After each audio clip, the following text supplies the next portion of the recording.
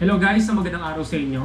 Sa video ito, aalamin naman natin kung ano yung mga brand ng mga budget mountain bike rigid forks na hindi naaabot sa 2,500 pesos. Ah, kasi dito sa atin, ah, based sa mga nakita ko sa mga bike shops, wala na kasi ako nakita or nakikita ng mga rigid forks na nagre-range ng mga under 2,000 or 2,000 pesos. Lahat ng mga nakita kong ah, rigid forks na binibenta dito ay nagre-range na na mahigit ah, 3,000 pesos. So, yung mga brands na nakita ko na mga under 2,500 pesos, lahat ito ay sa online. It's either dun sa Lazada or sa Shopee. So, may nakita ko apat na brands na mga budget aluminum mountain bike rigid forks na hindi naaabot sa 2,500 pesos. So, isi-share ko sa inyo kung ano yung mga brand names doon at titignan natin yung ah, specifications at saka yung mga clearances doon sa ano sa gulong. So, i-base natin kumbaga yung baseline natin ay yung dun sa ano ko sa Gayax Tato na 29 by 2.3 at saka dun sa Tosik ko na malaki yung buka na non-tapered carbon fiber rigid fork kasi yung Tosik ko na non-tapered na na rigid fork ang ah, blade length nun is 385 mm. So nung sinukat ko dati yon nasa 8 mm na lang yung clearance nun between dun sa Gayax Tato na 29 by 2.3 at saka sa Tosik rigid fork ko na ang blade length is 385 mm. So ihahambing natin dun sa mga nakita kong mga brands na mga budget ah, mountain bike rigid forks na aluminum. Kaya mag-start na tayo. So mag-start muna tayo sa pinaka-affordable. Ito yung Lutuwang Aluminum Rigid Fork. So guys nga pala, yung mga sasabihin ko mga online store sa Lazada at saka sa Shopee, yan yung mga pinakamatataas ang ratings.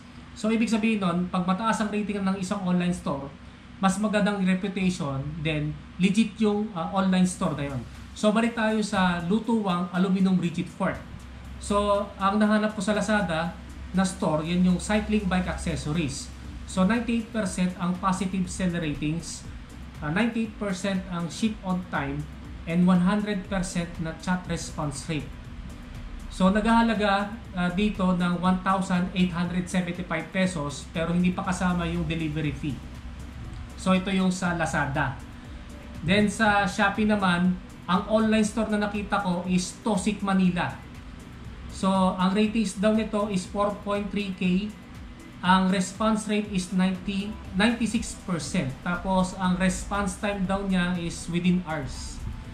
So nag-aalaga dito sa shop na to ng 1,999 pesos ah, na hindi pa kasama yung delivery fee. So tignan natin yung specifications nitong Lutuwang Aluminum Rigid Fork. Ang axle to crown length nitong fork na to ay nasa 435 mm at ang blade length nito is 390 mm.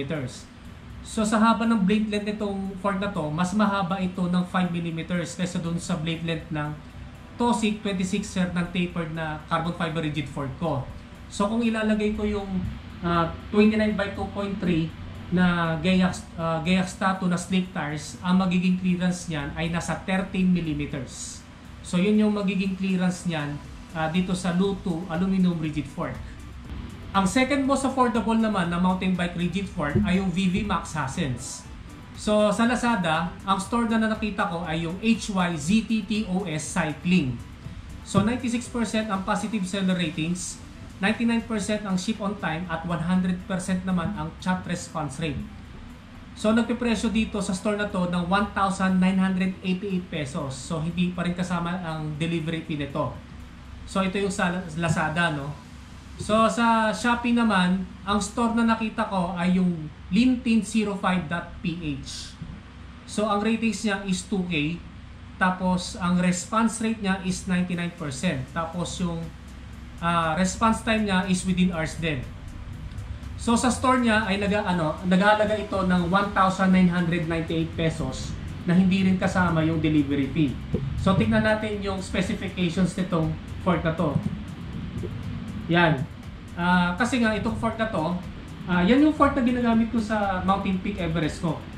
So ang accent to crank length naman nito is 450 mm at ang blade nito is 400 mm. So sa blade length nito, mas mahaba ng 15 millimeters compared dun sa Tosik Carbon Fiber 26er ko, no? So kung ilalagay ko yung ano, yun nga, nakalagay na itong uh, Gayax Tato ko na 29 by 2.3 slick tires. So, yung 8mm dun sa Tosik ko, nadagdagan ng 15mm.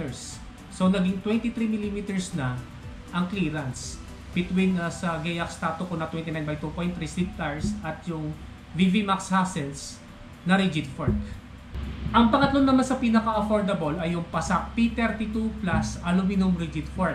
So sa Lazada, ang online store is cycling bike accessories. So pareha sila sa Lutuwang Rigid Fork. So 98% ang positive seller ratings, 98% na ship on time at 100% na chat, chat response rate. So nag-aalaga dito sa shop na to ng 1,995 pesos na hindi pa kasama yung delivery fee. So ito yung sa Lazada. Sa Shopee naman, ang online store dito ay yung QQ11792-08462.ph. Yun, so yun yung pangalan ng shop niya. So ang ratings nito ay 1.7k. Ang response rate is 98% at yung response time is within hours din. So nag-aalaga itong fork na to sa shop niya ng 2,021 pesos na hindi pa kasama yung delivery fee. So tingnan natin yung specifications nitong fork na to.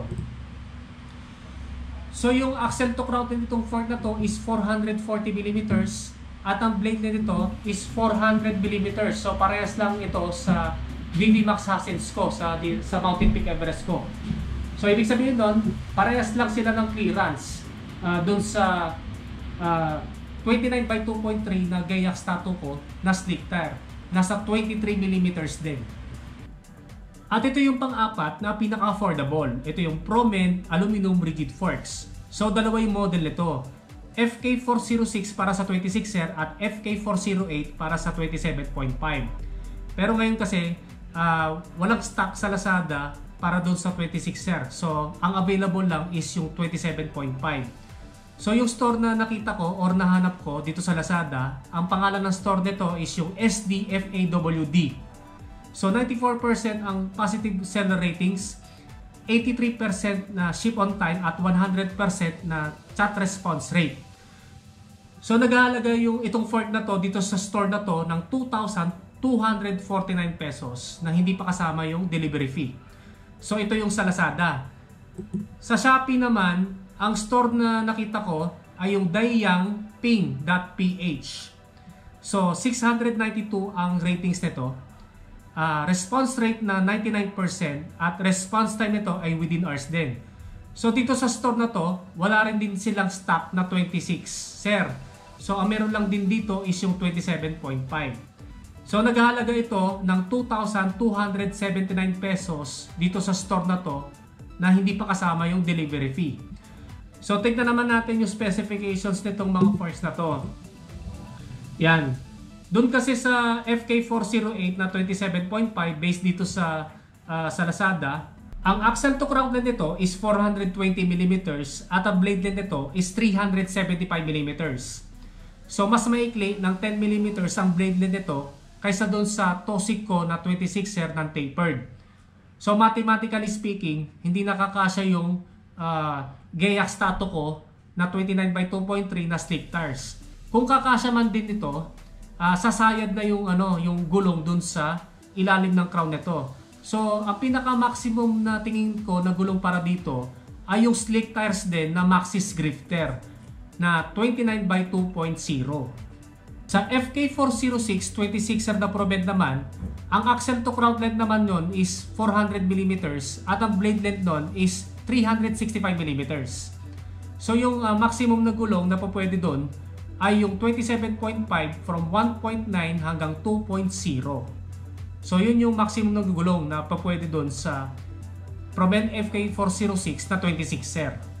So yan guys, nalaman na natin yung mga brands ng mga aluminum rigid forks na hindi na aabot sa 2,500 pesos. So apat na brands yun. Yan yung uh, Lutuwang, yung VV Max Hassens, yung Passat at saka yung Promen. So kung meron kayong tanong regarding dito sa video na to, i-comment na lang ninyo sa comment section down below. Yan so guys, ah, maraming maraming salamat sa panonood sa aking video. Don't forget na i-subscribe yung aking YouTube channel. Pakiclick na lang yung notification button para ma-totally notify kayo Yan so guys, ah, maraming maraming salamat sa inyo and ride safe po sa inyo.